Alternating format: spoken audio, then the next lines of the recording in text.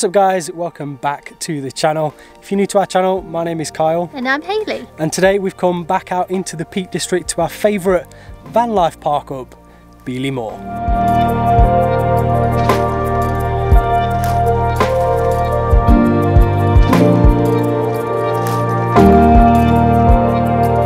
So it's been uh, quite a while since you've seen Big Merlin on this channel. In fact, it was way back in spring that we were here at Beeley Moor talking to you guys about this van. This was our new van. We replaced Old Merlin with Big Merlin.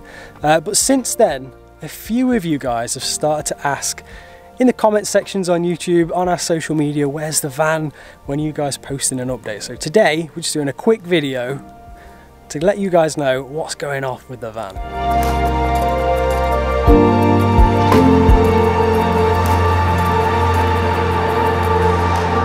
Right, so the last update of the van was when we installed the MaxxAir skylight and since then we've had a little bit of a halt. And by a little halt up, um, she really does mean quite a large one and really a very expensive one as well. Um, for those of you guys who've been around on the channel for a while, you will remember our old van, Old Merlin or Little Merlin as we used to call him. That was a petrol van. Now, Big Merlin over here is a diesel van. It's the first diesel one we've ever owned. And with a diesel engine comes its own set of unique problems uh, and unfortunately we've been very much hit by a big one.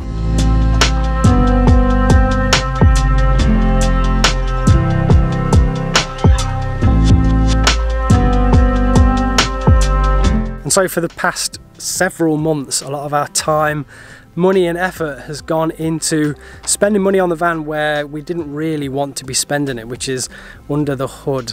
So without boring you um, about too many of the details, uh, because Big Merlin is a diesel, he comes with his own problems um, and he's got some issues with uh, basically the emission system and his exhaust. And so far, we've spent the best part of 800 pounds slowly replacing bits underneath the van trying to find the problem and we've just not found it yet. Um, we're getting close, we really did not want to spend that much money on that end of the van um, but hopefully very soon we will finally get him fixed up.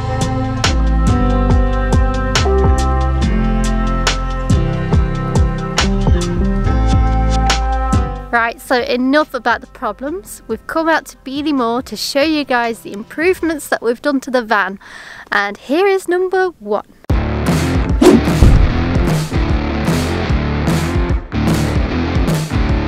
So the bunk windows we bought from Van Pimps and I can't remember how much they were, can you remember? Yeah, so Van Pimps are a UK based company and I think each window cost about £99. We've got the ones that do open, I believe you can get ones that don't open, they are a little bit cheaper. Now the reason that we've gone with these bunk windows is uh, because they're going to sit either side of our bed when we finally get that installed. So I'm looking forward to being up in Scotland and just looking out the window and seeing mountains out the side of my bed. And it'll create a nice airflow throughout the van. So with the skylight above and the bunk windows open, it'll keep, keep a nice cool breeze throughout the van. Yeah.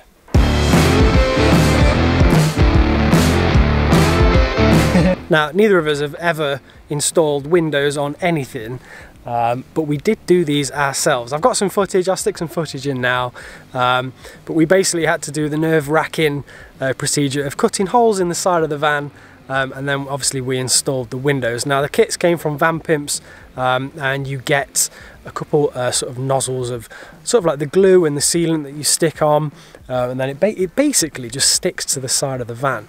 Um, and I think we've been incredibly lucky because not only are they still on the van but they're also watertight. So We've done a good job of them.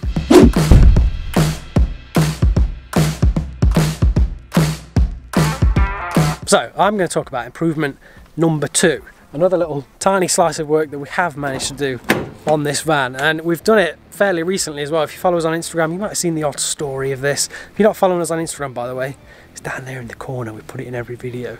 Go follow us on Instagram. So behind us um, on the floor is the only other little bit of work that we've managed to get done. I think we've both sort of underestimated just how busy we are with our lives and filming and vlogging and if you don't know we both have 9 to 5 jobs as well Um, so the time that we've actually had on the van has been quite slim, hasn't it? Yeah, it's been very minimal. So it's been nice to actually uh, do a little bit to it. Yeah, you've nicknamed it the snail build. Yeah, it's you? now the snail build. So. It's going to take a while, guys. It's going to take a while. Um, but yeah, so behind us is the subfloor. We've managed to get um, the wooden subfloor just about down. Uh, within the gaps in the wood as well, we're going to uh, put uh, what's it called? Uh, insulation, kingspan Kingspan. yeah. insulation. It's like the it's like the foam board stuff. That's the best stuff for the job, we think. Uh, and that should keep the floor nice and warm. And then we're also going to put a floor on top of that as well. Aren't Yeah. we? And throughout the whole van, we're hoping to uh, kingspan it uh, to keep most of the warmth in, and then maybe fill in with some uh, softer insulation in the crevices. So things are gonna get toasty. Hopefully.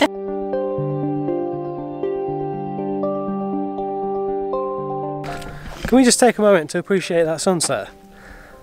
Absolutely amazing. Um, we actually we wanted to get out, didn't we, and film Yeah.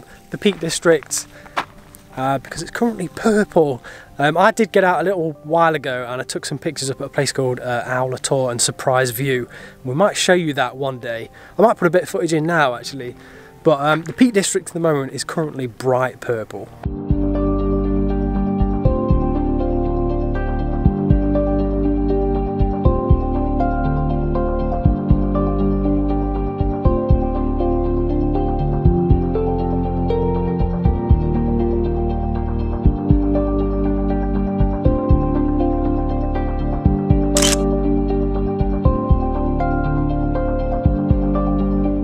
So coming up next with the van build, um, we're going to start fleshing out the walls as well. So we're going to start putting the wooden struts up.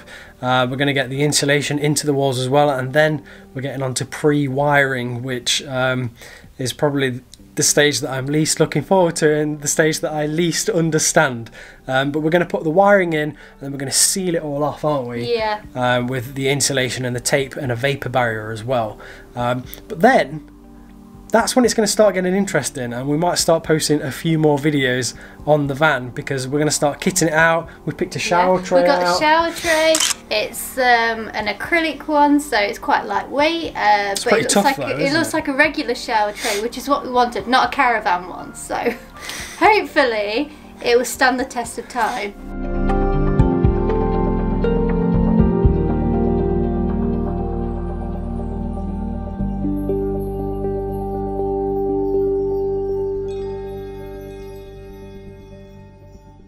So the sun is very much setting now over Beeley Moor. Looks pretty nice.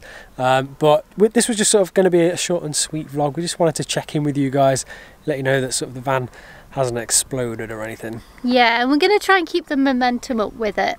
And hopefully, by the time you see our next van update video, we might have made some more improvements. Yeah, hopefully it doesn't take us sort of like five months to put a floor down or something. Um, hopefully, yeah, we'll, we'll start to put more time, money, and effort into the back of the van, and it will really start to look like a camper van.